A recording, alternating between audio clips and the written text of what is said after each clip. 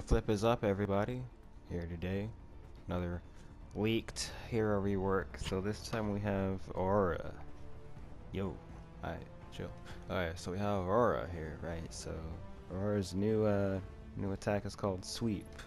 So I guess she's gonna do like a roundhouse kick with this sword and stuff. And, you know, be sweeping up pose because she like whooped up on them all. Conversion shield. Aura gives herself an overshield. Yo, that's perfect right there for stuff. I'm not sure what stuff, but hey, you know what? Let's give her an overshield. Aura throws an image out of herself. When it collides with an enemy hero or reaches the max distance, it will teleport. And the next sweep attack will gain bonus damage. Chauffeur, Chauffeur, Aura can teleport now. And it has an overshield. Nice. Hamstring. AoE that slows people. Alright, cool. You can slow people down. You can teleport on them, pop an overshield, then you pop your Cryoseism, whatever it's called. Uh, got rid of it. Uh, Aurora slams her ice blade on the ground, dealing 260 damage to everyone in front of her. I'm trying to get behind that though. Also, uh, you know, I don't, I don't think I like.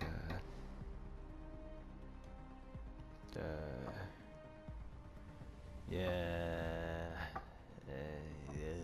I don't think this is a good rework, guys. I don't know. Uh, that ult's kind of lacking.